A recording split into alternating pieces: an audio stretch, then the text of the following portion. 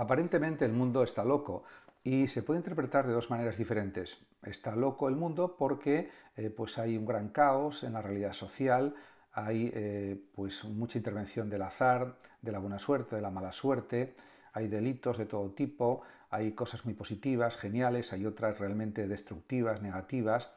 Eh, el azar impera en la vida en muchos aspectos, pero también puede haber otra interpretación positiva no podemos pretender que el mundo sea algo muy ordenado, muy armonioso, muy lógico, muy racional, porque eso nunca sucederá. Es otra interpretación posible, la segunda, en relación con esta frase el mundo está loco. Pero sí es cierto que eh, es evidente, y eso lo dicen los expertos, los psicólogos, los psiquiatras, los sociólogos, que pues una parte de la gente no piensa suficientemente las cosas, comete muchísimas imprudencias y luego vienen las consecuencias negativas. Eso también es algo indiscutible y evidente. Turismo más caro o vacaciones más caras porque han subido los precios de los hoteles considerablemente, de los paquetes turísticos, eh, también de los propios viajes en avión o en otros medios de transporte, etc. Lo que hace que haya que pagar más dinero para ir de vacaciones este verano. De hecho, hay una parte de la población española que no se va a ningún sitio de vacaciones por falta de poder mm, económico y es algo entendible. En cualquier caso, también es cierto que se pueden eh, hacer viajes de muchas maneras diferentes, gastando más, gastando menos, eh, diríamos que hay formas de viajar eh, más baratas que otras, depende también del tipo de hotel que se escoja, eh, del tipo de, vuelo que se escoja también, o puede ser también por tren, por autocar, etcétera, etcétera.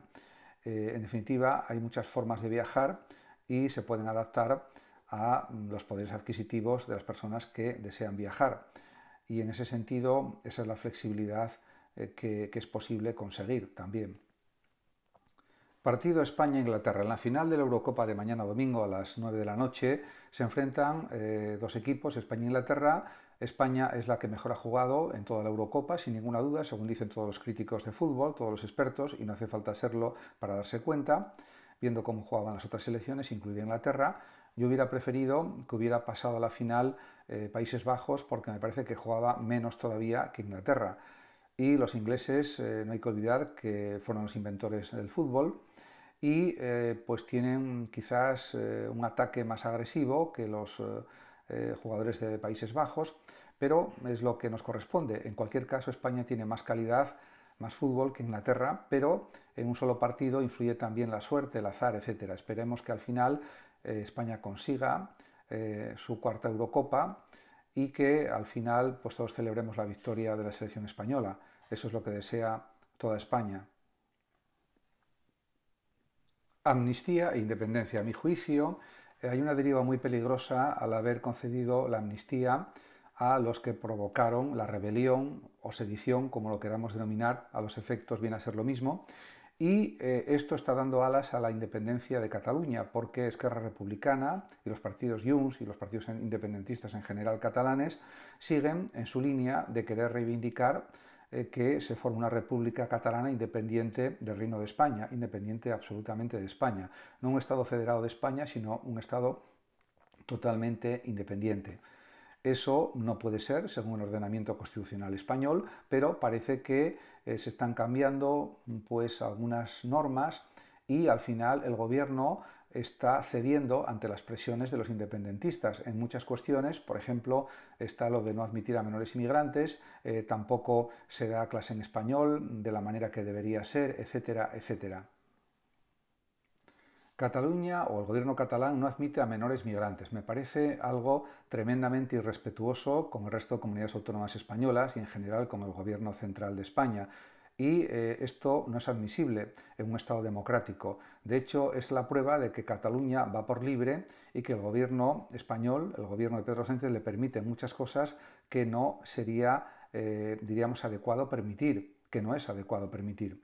Y realmente eh, están dejando que Cataluña funcione como un Estado paralelo, no solamente en esta cuestión de los migrantes menores, sino en otras muchas cuestiones hasta que llegue el punto en que ya mm, Cataluña funcione de forma autónoma del resto de España y que mm, supuestamente esté bajo el reino de España o en el reino de España, pero que realmente no lo va a estar.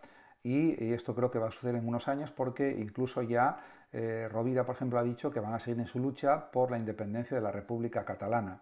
Por lo tanto, las cosas son así.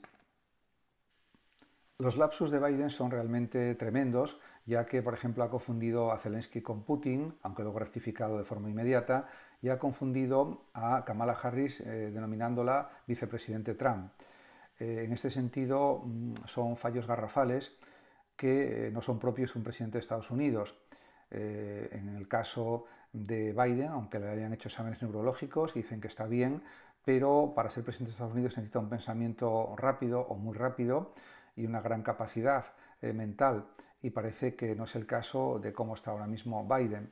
Eh, en cualquier caso, yo creo que lo mejor sería que Kamala Harris, como vicepresidenta de Estados Unidos, eh, fuera la candidata para las próximas elecciones dentro de unos meses y, de esa manera poder pues, bueno, competir a nivel electoral con posibilidades de triunfo contra Trump.